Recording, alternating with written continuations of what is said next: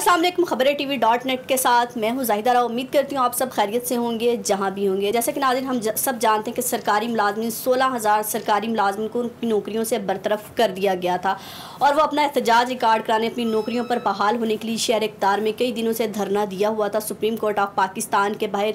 और आजकल ठंड भी बहुत है शहर इकतदार में तो रात भी उन्होंने सर्द रात भी सुप्रीम कोर्ट ऑफ़ पाकिस्तान के बाहर गुजारी। तो आज सुप्रीम कोर्ट ऑफ़ पाकिस्तान ने उनकी किस्मतों का फैसला सुना दिया।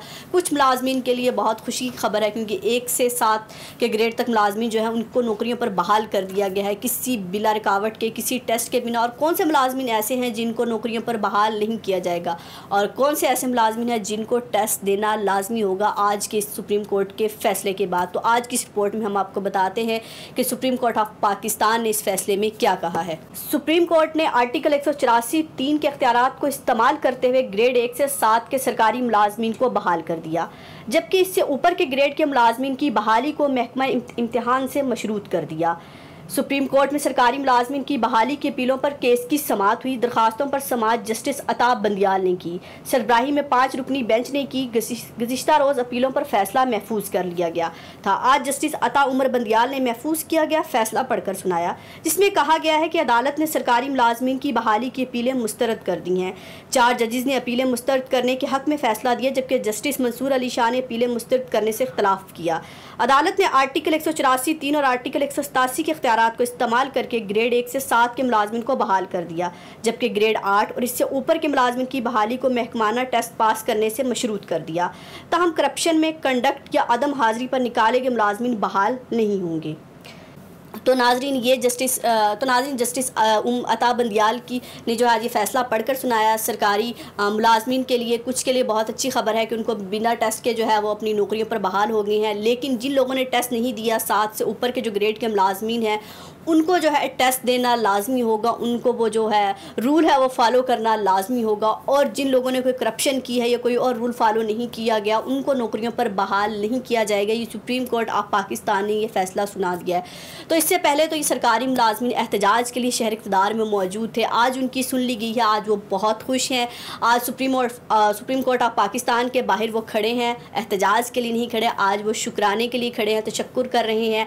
लोगों का, सुप्रीम कोर्ट ऑफ़ पाकिस्तान का, पुलिस का, तमाम कानूनी इदारे जो बाला दस्ती रखते हैं, जिन्होंने उनका साथ दिया तो और ख़ास तौर पर मीडिया का वो बहुत शुक्रिया अदा कर रहे हैं, जिन्होंने उनकी आवाज़ उठाई, सुप्रीम कोर्ट ऑफ़ पाकिस्तान तक पहुँचाई, कानूनी इदारों तक पहुँचाई।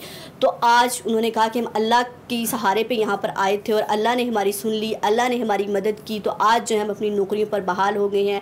तो हमारे लिए इससे बेहतर फ़ैसला कोई नहीं हो सकता, क्योंकि सुप्रीम कोर्ट ऑफ़ पाकिस्तान ने हमारी सुनी है और कानून के अंदर रहते हुए हमें फ़ैसला दिया है। तो हम यहाँ से बहुत खुश जा रहे हैं शहर इकतदार से।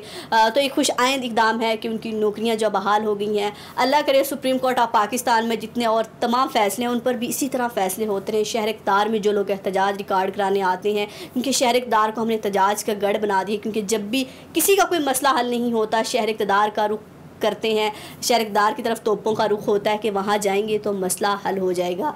तो जैसे सरकारी मुलाजमीन रोड्स पे आए और उनका मसला हल हो गया तो अल्लाह करे जितने लोग शहर की तरफ़ रुख करते हैं, पहले तो उनको शहर तक आने की नौबत ही ना दी जाए, उनका मसला हल हो जाए। लेकिन अगर वो शहर का रुख करते हैं तो यहाँ आकर उनके मसले हल हो जाएँ तो इससे अच्छी बात कोई नहीं हो सकती। तो उम्मीद करते हैं कि नेक्स्ट भी इसी तरह के सुप्रीम कोर्ट ऑफ़ पाकिस्तान फ़ैसले करता रहेगा और लोगों की ज़िंदियाँ आसान होती रहेंगी और जो हमारा कानून पर अतमाद उठा है कि हमें इंसाफ नहीं मिलता, हमारे केस सालों चलते हैं तो उसमें भी कहीं ना कहीं हमें रिलीफ मिलने की उम्मीद होगी कि वाकई ही सुप्रीम कोर्ट ऑफ़ पाकिस्तान या हमारे इदारे काम कर रहे हैं और पूरी तंदी से कर रहे हैं और लोगों का यकीन जो है अदालतों पर इंसाफ पर बहाल होगा। उम्मीद करते हैं ये रिपोर्ट आपको अच्छी लगेगी और इसका जो तफसली फ़ैसला होगा वो भी हम खबरें टी के ज़रिए आपसे शेयर करेंगे। अपना और अपने प्यारों का बहुत ख्याल रखिएगा। अल्लाह हाफिज़।